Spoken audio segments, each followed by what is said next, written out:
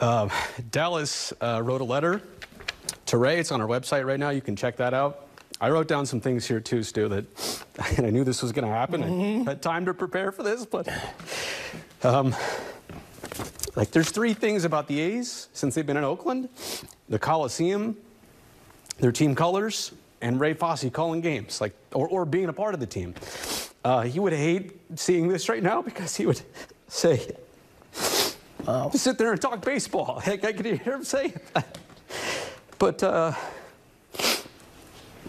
I can't do that. He, he deserves this recognition, and I'm, I'm sorry that we didn't get the chance to properly say goodbye to him. We didn't know. And for 16 years, he battled this behind the scenes. He didn't really share a lot with us. And I think, you know, the A's, as I look back now, he didn't talk about this, but he loved the A's so much. It was almost like therapy for him to be with the A's. So I guess I'll just leave it at that. I don't know what you have to add. Help, help me out here, Stu, because this is uh, this is how everybody feels. I know. I can't add to that, Brodie. I mean, he's one of the greatest personalities in, in, in my opinion, A's history. Um, and, you know, I had an opportunity to see Ray in, in different dimensions. I saw him as a young kid, as a player.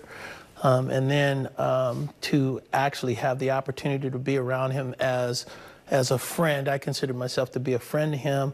This was the guy that after my no hitter did the interview. I remember it. Um, Yeah. We've got we've got long, long, long history, um, and you're right, Brodie. I mean,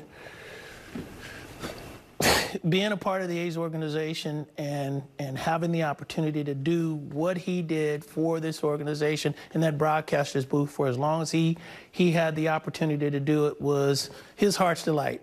There's only one other thing I he know. loved more. I know. There's only one other thing he loved more, and that was his wife, Yeah. and that was a close competition. His birthday was April 4th. I just day after mine. It was also his wedding anniversary. We brought Yeah. that up in so many seasons, and so.